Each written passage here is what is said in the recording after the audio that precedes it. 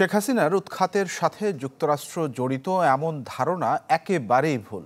নিয়মিত ব্রিফিং এই কথা বলেন যুক্তরাষ্ট্রের পররাষ্ট্র দপ্তরের উপমুখপাত্র বেদান্ত প্যাটেল।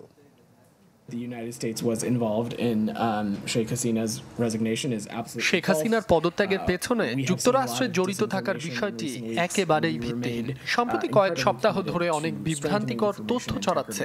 তবে ডিজিটাল ইকোসিস্টেমে বিশেষ করে দক্ষিণ এশিয়ায় সঠিক তথ্য নিশ্চিতে যুক্তরাষ্ট্র বদ্ধপরিকর। ঠান্ডায় হবে